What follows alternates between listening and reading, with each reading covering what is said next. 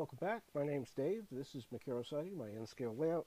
And today we're going to talk about making custom decals. Uh, I just said decals, and uh, there's going to be about 100 people going to say they're decals. They're decals. They're not decals. Well, I looked it up on uh, the Merriam-Webster uh, app on online, and depending on what country you're in, it's either. Uh, but according to that, that particular dictionary, in Canada, it's a decal, a decal. Okay, so I am going to try as much as I can to make sure that I don't, I don't mess up the two words. So we'll get started here right right away. So there are a lot of uh, items that you build on your layout that require decals. See, it's even hard for me to say that word. Um, and uh, you can't readily go out and buy them. Uh, Microscale makes a ton of uh, ton of them, but uh, they're almost all for like rolling stock or things like that. Maybe maybe some for roadways, maybe some for warning, caution stuff. But if if you're going to do stuff that's truly bespoke, truly custom, then you need to know how to make your own. And so I'm going to show you how I do it. Now, I use a piece of software called uh, Corel Graphics. Uh, it has Corel Draw in it, it has uh, Corel Paint in it, it has two or three other uh, things. And it's a major, major uh, piece of software. Now, the only reason I use it is I've been using it for over 20 years. Uh, I was at one point in my life a graphic artist and was designing commercials and book covers and stuff like that. And I would use this software to, to make it. Uh, but as uh, as I progressed in my, my career, different careers, I moved on, and but I still kept buying the updates and getting it. And it's not an inexpensive program, so I'm not going to recommend that you run out and get it. If you have uh, Adobe Illustrator, this most of this will work in Adobe Illustrator, I believe. And there is a free drawing program called Inkscape. And it, it is a very powerful program. Uh, and uh, you, you probably would want to do a bunch of testing and uh, download it, test it, see if it meets your needs. But uh, it, if you're looking for a cheap way to do it, and God knows I'm a Scotsman, I'm always looking for a cheap way to do something.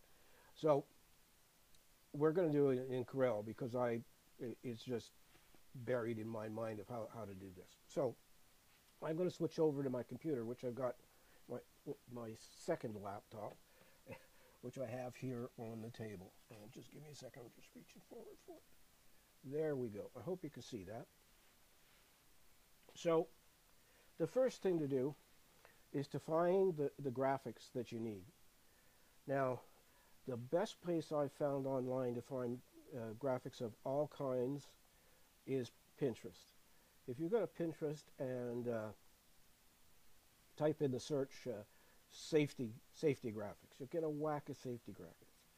If you're looking for uh, uh warning signs, type in warning signs. You'll get a, a bunch of warning signs. And the other two graphics that I'm going to uh, show you are from a Google, Google search for each of these these other graphics. And it's important uh, that you realize where you're going to put your, your decal. There are two kinds of, I'm going to switch back for a second, guys, just sorry. Whoops, I didn't press it long enough. There are two kinds of, of uh, decal paper. Now I have a laser printer, so actually that would mean there are four kinds. There'll be these two for laser and two for uh, inkjet. Uh, inkjet, because it's ink, you, you there's a couple extra steps you got to go through to get it done, and I'm not, really not familiar with it, so I'm not going to talk about it at all. But the two different types are white water slide decal paper. This is for a laser printer. I'll just hold that up so you can see it. And then we'll, we'll put it back down here. And then the second one is also laser water slide decal paper, but it's a clear one. And I'm going to demonstrate why you need to know this because it, uh, laser printers and even inkjet printers don't print white. So if you need to have something in white on uh, on a colored background, you need to use the white decal paper. If it doesn't matter, then you can go ahead and use the clear stuff. So what we're going to do, I've already printed them up, and uh, we're eventually going to get there. But the first thing is to show you how I go about doing this. So I'm going to go to File, I'm going to go to Import, and I'm going to bring in this one, and I can draw it out, and there it is. That's that's the Dom, Domtar uh, logo. Now I'm going to go back here, File, and Import, and I'm going to take uh, Petrocan, and I'm going to do that with Petrocan. There we go. And I got, I think I got, I got? Two more? Yeah, two more. Uh, import safety signs electrical. So this would go on a, if you had a, a power uh, substation on your on your layout. There's all the signs for that.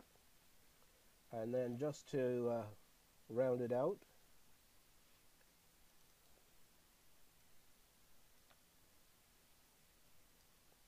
here are so I'm just gonna, I'll try and zoom in here and then I'll, to, I'll move it around for you. So obviously this one should be on clear.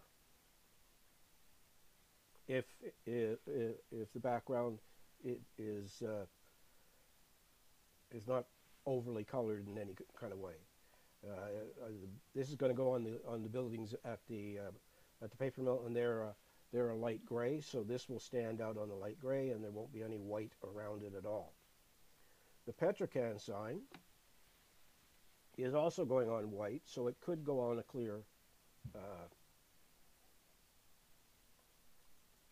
a clear background. But if anything is colored and you, you put the clear one on, uh, this will disappear. Um, and I'll, uh, we're going to demonstrate that. Um, so, and then this one, it really doesn't, if, if you want to have the white that's on the all of these signs here. I, will just zoom in. There we go. This white, then it should be printed on the white white uh, paper, and the the yellow warning stripes doesn't matter. Uh, if you put it on the white, then you're going to have to trim it very close. So I would suggest that you put it on the on the clear, and that makes things easier for you. So now where where do we go from here? Well, what I normally do now, where are those papers? Okay, here they are. So when I originally imported these, let me switch to 6. It, this is difficult with this thing sitting there. Let's bring it over over here. Let's go to 6. Why aren't they? Okay, I'll do it up here.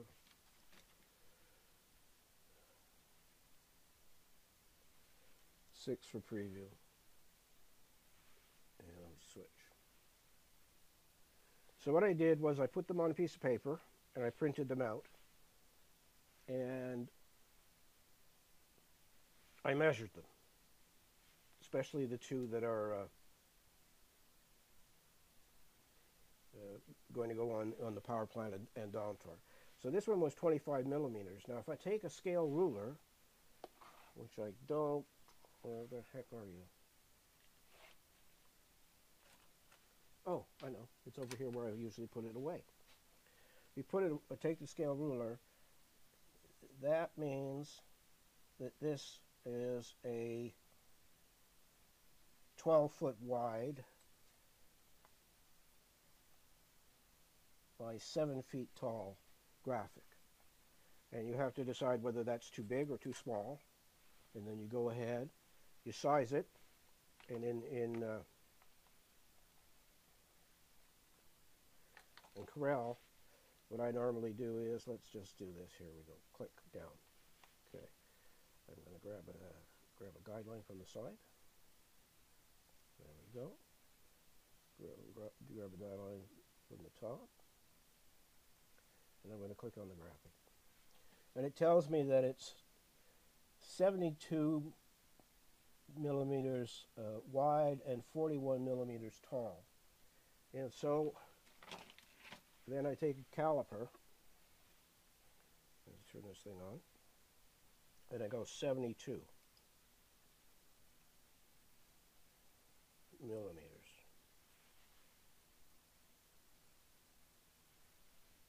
Oh, sorry, I went inches. That's why that, is all of a sudden. Oh, one more.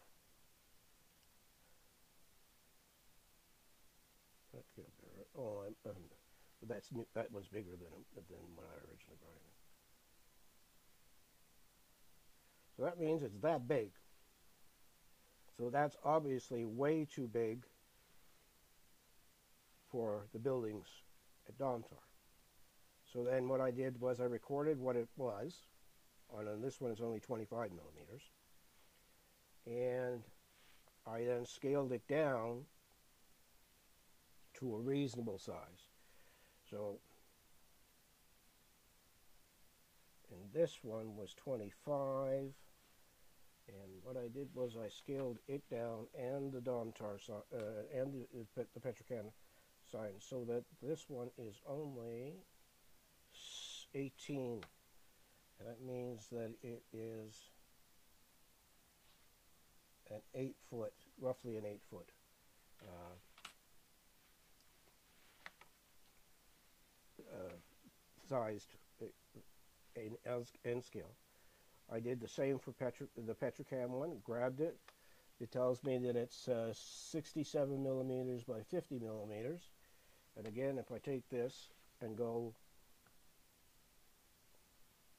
to 67, 69, 68, 67, and I put it on on the ruler, it comes out to 35 feet, which is a big, big sign. So I scaled that down as well. And then I did the same for the danger sign and the same for the stripes, reducing them so they were more in, more N scale for the, the for an in scale layout. And the, in on this one, on the on the stripes, I measured measured the original uh, stripes, and then reduced them. And on this one, I measured one of the, the caution signs and reduced them to that size so that this caution sign is only 8 millimeters, which is 5 feet. Four, four, uh, 5 feet? 4 foot 6. So you can see that you have to play around with it, and you you'll probably waste a bunch bunch of paper. Although it's not a waste because you're once you've got it all set up, it's it's it, it's done. So, and then once you've got its uh, size right, then you can go ahead and print it on the on on on the decal paper. As I said, decal, amazing. So, what I did was, we'll just leave the, that camera there for now. I printed the, this out on, on decal paper, I'm going to talk about this, this mess in the corner here in a minute. And this is the clear. Now they look identical, except that anywhere there's white on here, there's nothing. There's no color. It's whatever the background color is. It just it doesn't it doesn't print the white. So you have to be cautious about what you're doing. Now, to talk quickly about this mess here. I learned, where did I put that stuff? Did I bring it over here? I thought I brought it over here. Did I bring it over here? Maybe not. Okay, well, we, will go without it. I printed this one, the white one, immediately after printing the clear one. And obviously some of the the ink from the clear one got on a drum or something and transferred to this one. So what I would suggest you do, I thought I brought the package of, there's, there, you can buy cleaning paper for your laser printer. And uh, it would be easier if, uh, if you had done, printed one, let it set for a bit, put the cleaning paper through twice, which is what they recommend, and then printed the next one so that this would not have happened. But because these are yellow and black and there is no white anywhere in them, I'm going to use them on the clear. I'm not going to use them on the white. So what I'm going to do now is we're going to cut out these these uh, uh, the Petrocan uh, decals and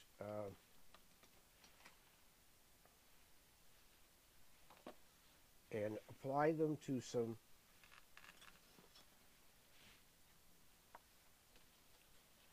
So, this is the Petrocan white.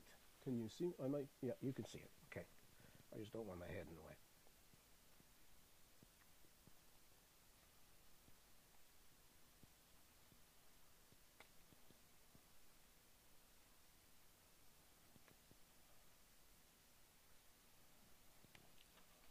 Okay, so there's that one.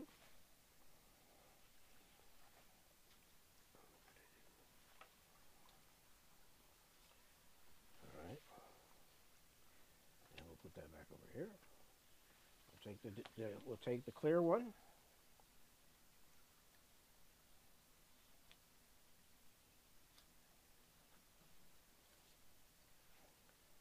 And they look exactly the same.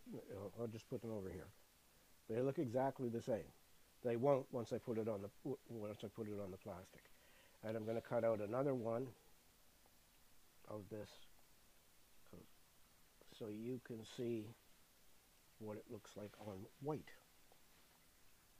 So now the other thing you'll need besides the buying the decal paper is to buy some microset and microsol.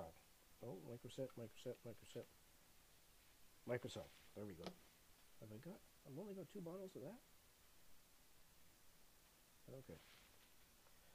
So what microset does, and this is how you do it: you brush it onto the on the model where the the decal is to be applied, and then dip the decal in water and slide it off the backing of paper and onto the position with the model.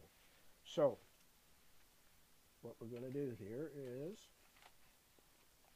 I have a sheet of colored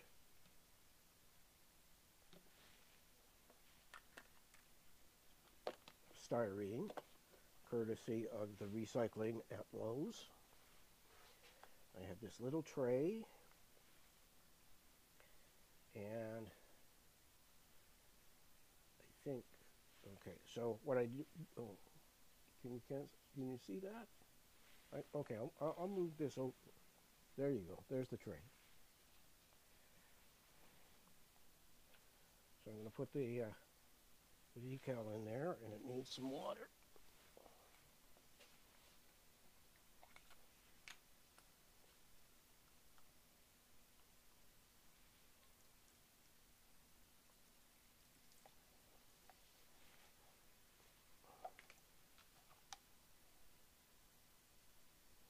I found with this this protection uh, decal paper that you can tell when it's ready because it goes in and it curls up, and once it's ready, it sort of flattens itself out.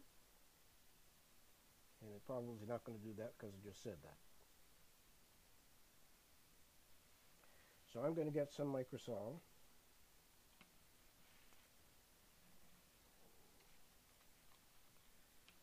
And paint it on this uh,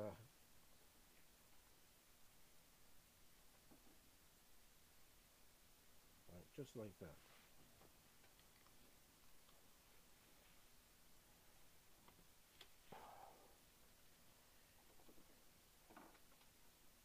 Okay, this is the white one. So, I'm now going to slide it on here and then take a little rag and just dab very gently. And then once once you've done that, you take the microset and you paint it on, oops, careful. Paint it on, oops.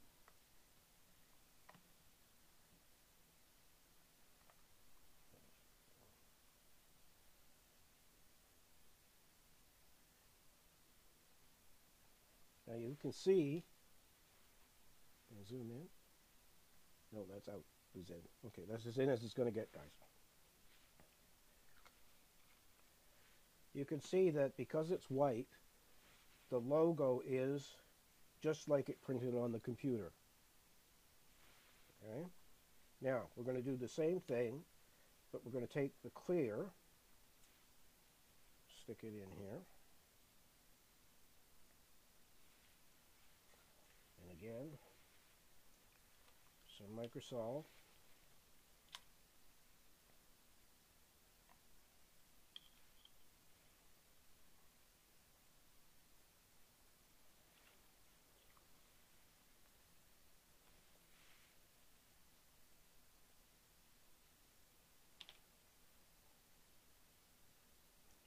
Okay, now this is the clear one.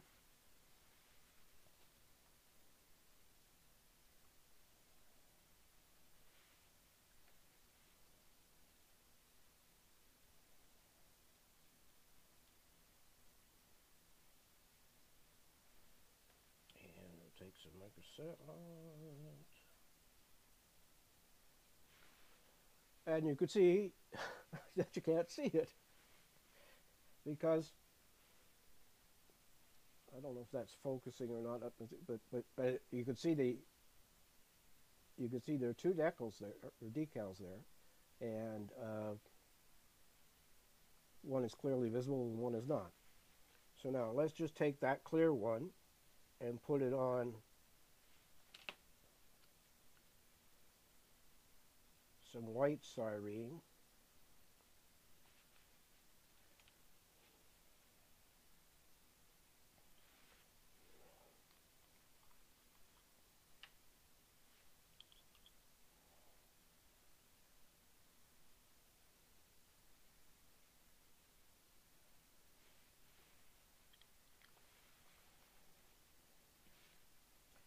And the paper's gone flat, so I'm pretty sure it's loose.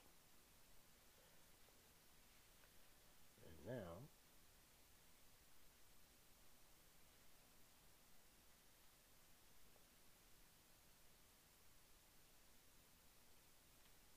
Bingo. And, uh, of course, I'm a little OCD, so I want it, want it to be square. As square as I can get it. Okay, and then I'm just going to take some more Microsol, or Microset, and just plain it on top. So that's why you need to know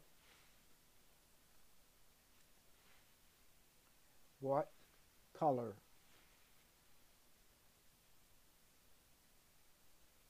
your decal is going to go on.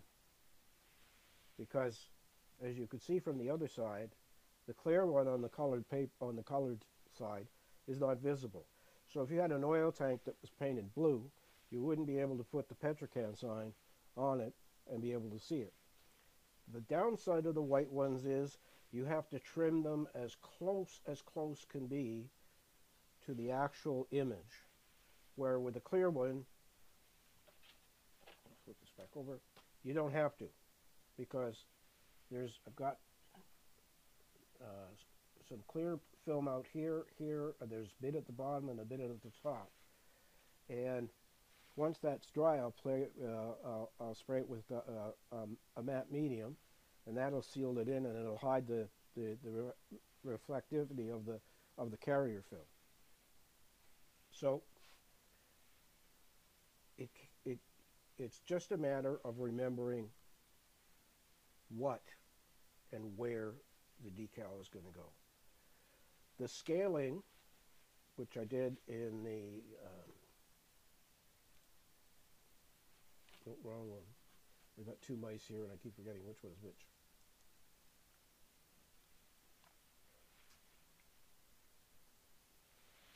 Scaling in uh, Corel Draw is just a matter of trial and error until you get the size that you want. Uh, but as I say, the best place to go for, for images uh, is uh, is Pinterest. If you want to put, say you want to put uh, uh, advertising on the side of a building, uh, you know, like they used to paint right on the building, you could find something on Pinterest, I'm sure, some old, type in old advertising signs, and you would probably be able to find something that uh, would work.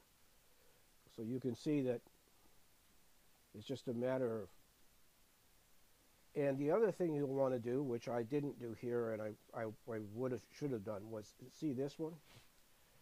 Well,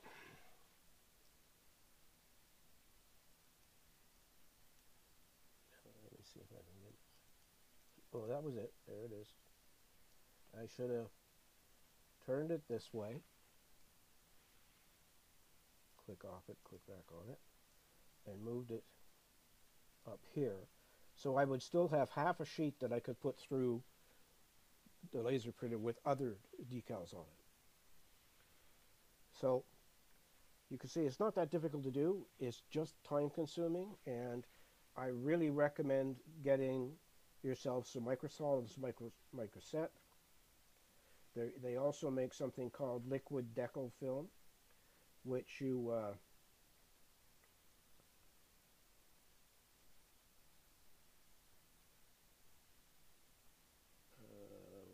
an artist brush onto an old decal and then you can apply it allow 15 minutes to, to dry apply like a regular one so if you've got an old little decal and it's not not hanging together that's actually a film that goes over top seals it all together and then you do do your uh, do your printing so I'm gonna just switch back to one. Oh, see, now it's working. Okay. Fade. There we go. So you can see not, not that difficult to do, but the real crucial thing is to remember that you need to pick the right type of decal paper to uh, to enable you to print on stuff that you've already painted and you want white to show up. If you don't care about the white showing up, don't worry about it. But if you want it to show up, you've got you've got to use the white paper, uh, decal paper. So that's it for this week. Next week I don't know what we're up to. Um, we're getting pretty close to having all the buildings and, in, and things done in, in, on, in and on the paper mill. The roadway still needs to be done. There is, uh, I've got to paint, paint a bunch of uh, jersey barriers that will go uh, in different locations on in, in there and there will be another road, a new road to go in, and two uh, uh, railroad crossings so that vehicles can move around on the far side of the, the mill. So again, as always, I want to thank you for watching. Like, comment, and subscribe. Uh, subscribing is, is, free, helps the channel. Uh, ring that bell and uh, when you do subscribe, and you'll get a notice when I, I put out a video. Usually comes out on, a, on Thursday evening. And um, if you like the, like what you see, please uh, give me a thumbs up. It's important. Tells me that I'm doing the right thing for you people. So as always, thank you for watching. Uh, take care of yourself. Take care of your family. And uh, as always, again, remember it's your railway and you can build it any way you want. And I'll see you next week with a new video. Bye for now.